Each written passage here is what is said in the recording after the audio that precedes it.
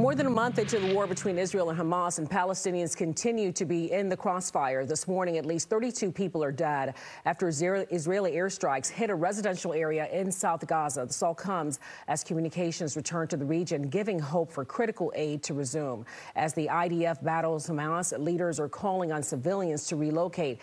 Take a look. These are satellite images released and show a massive crowd heading towards southern Gaza yesterday. Officials there say neighborhoods had until 4 p.m. to leave their homes and evacuate south. Well, as the war continues, protesters are making their voices heard right here at home. Three demonstrations have been held so far this week calling for a ceasefire. The latest happened last night at Union Station. D.C. police say at least three people were arrested in connection to the rally.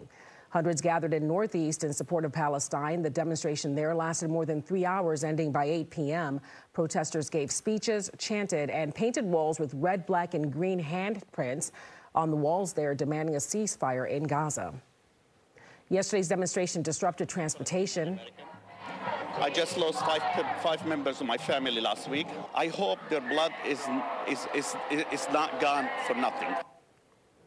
Well, as you mentioned, yesterday's demonstration did disrupt transportation. Amtrak told riders to allow for extra time because of the rally, and Metro trains temporarily skipped the station.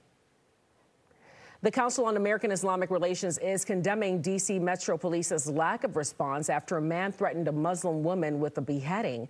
The woman was on the Orange Line with some acquaintances on their way to last night's Palestinian human rights protest when the man began yelling profanities and threats at her. Witnesses say the man was also armed, but police have not confirmed that.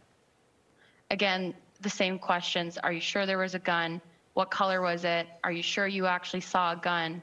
Um, just really belittling the entire situation and, and the threats that were made, and going as far to say that my life was not threatened because he did not explicitly say the words, I am going to kill you. CAIR sent a letter to the police department calling on them to identify and arrest the man.